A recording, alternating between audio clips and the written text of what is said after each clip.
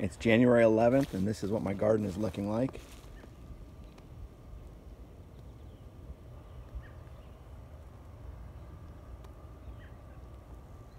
And these pots have some strawberry plants in them uh, that I separated from my main strawberry bed. So I'm going to bring one of these inside, let it warm up, and maybe later today, maybe tomorrow, I'm going to try to transplant it into a Kratky hydroponic system and see how that goes. I've never done this before, so this is an experiment. Okay, I'm going to bring this inside now. Okay, I carried this pot into the house and I just set it in the basement inside of my utility sink. And I'm going to leave it here until this is thawed out because right now it's frozen solid. And I need it to be thawed so that I can gently separate the roots, clean each plant, and set it in the Kratky hydroponic setup. Okay, so we're just going to be patient and let this sit here check on it later today. If it's ready, we'll do it then. If not, we'll check on it tomorrow morning, okay? See you in a bit. Okay, what I'm doing now is I'm going to pull each individual plant out and try to preserve the roots and clean them as much as possible so that when they're sitting in the uh, hydroponic tank, there's no extra dirt or sediment in there. I want the roots to be as clean as possible before I do that. So I'm going to separate a few more plants and pick the four best because I have four spaces in my current um, tank that I use to grow these things in.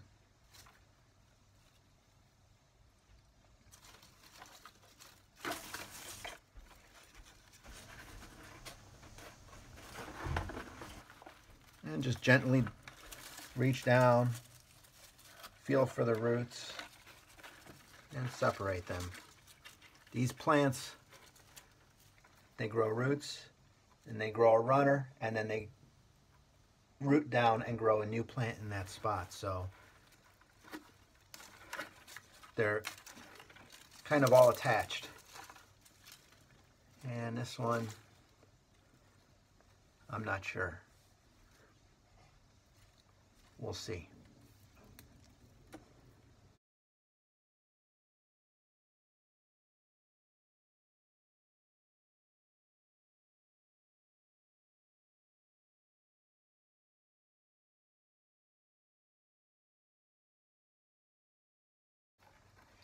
That's nice.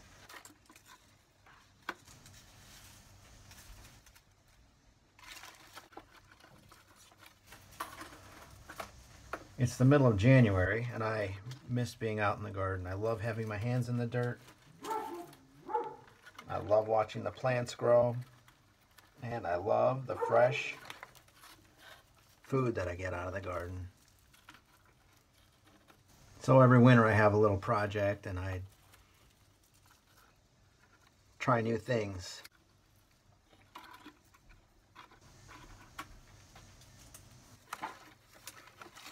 And it looks like two more.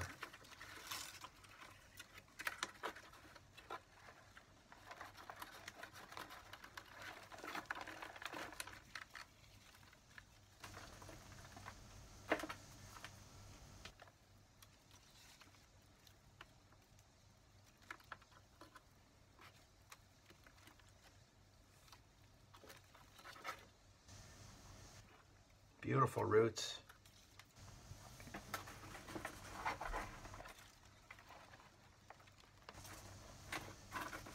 These are Ozark Everbearing strawberries. I bought them two years ago and they are prolific.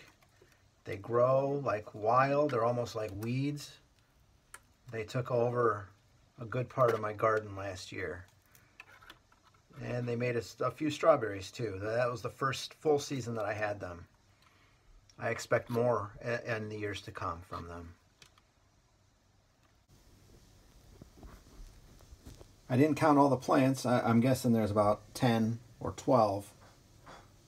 And they all have very nice root systems on them. It's too bad I can only pick four to grow inside here. So now I'm going to take a sprayer and try and clean off these roots as best I can. Okay, I got the roots pretty well rinsed. Uh, you can see what one of them looks like here. And this is a sprayer that I used. I got this, of course, on eBay. I use it to water the seedlings and things like that when I start seeds in the springtime. And now I'm just going to go through each plant and cut off all of the non-living parts, the runners and the dead leaves. And I just want to keep the green. And then I'll take a look at them again and see what looks the best.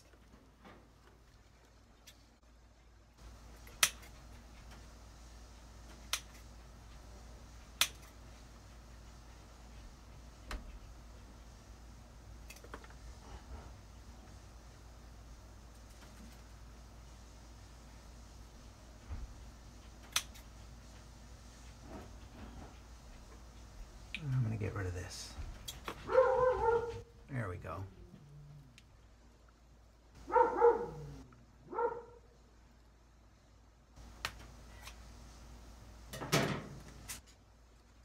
I'm going to take the net pot slide each plant in and I'm going to try to grab a couple roots through the bottom just to get them started because these are going to set in the water and the roots are going to grow out of this net pot down into the into the nutrient solution. And when I go upstairs and set these in in the growing pot, you'll see what that looks like. Okay, I have these potted up in the net pots and they're ready to go into the uh, hydroponic solution. So what I try to do is gently, and it takes a little bit of wiggling and patience, try to get a couple roots to come out through the bottom and sides of these net pots. And then I use Hydroton balls to support the plant as it's growing. So I've got one, two,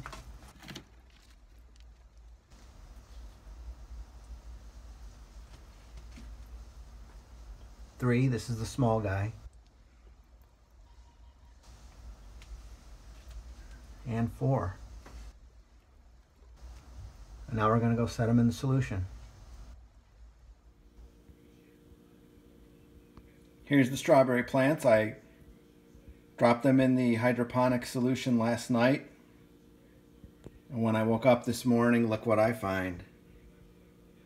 My cats eat all my plants. They make me crazy. But let's see what it does. Let's see if it makes a comeback. Okay, so here's how this goes. These roots extend, grow downward into the nutrient solution. And as they grow down and the nutrient solution drops, portions of the roots will be exposed to air and they will absorb air for the plants.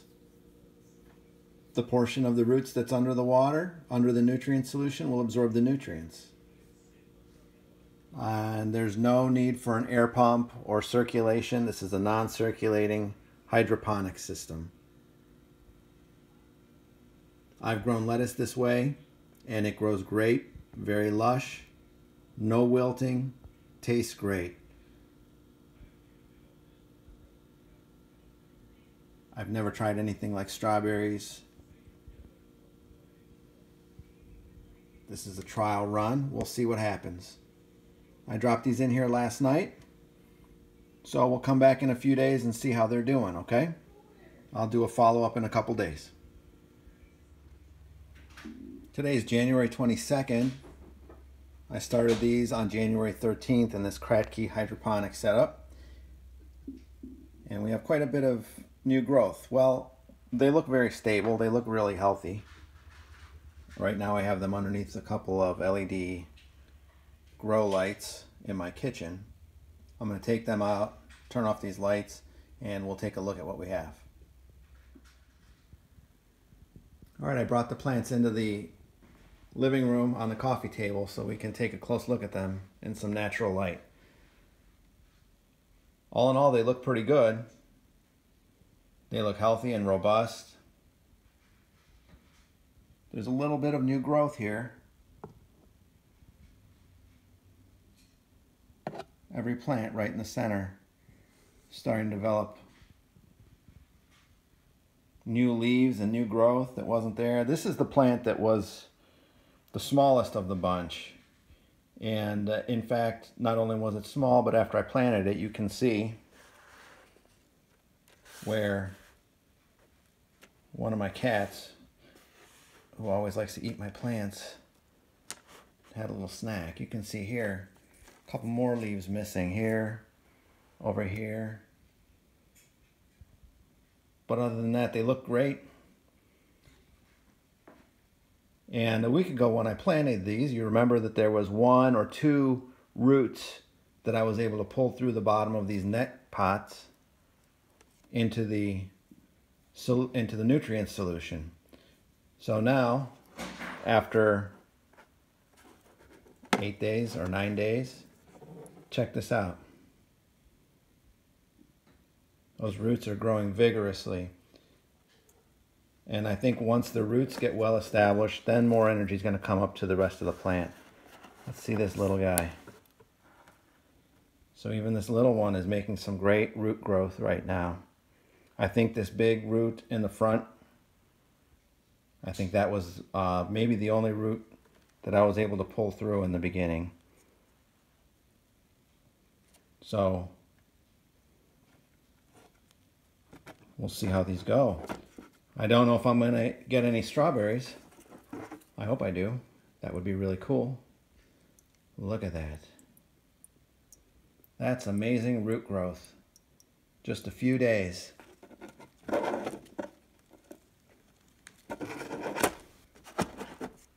Let's see this one. And again. Not as good as that last one, but still very nice.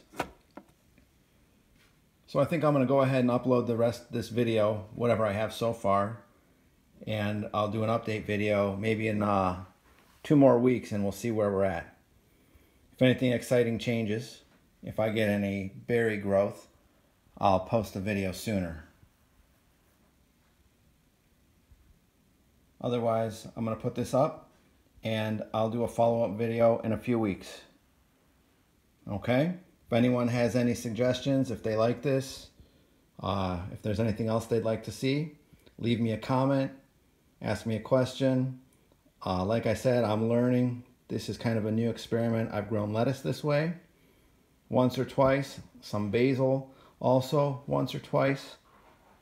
But these a week ago were frozen out in my garden. I brought them inside, thawed them out, separated the plants, cleaned up the roots, and here we are now.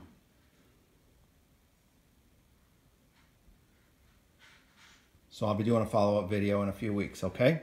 Thank you.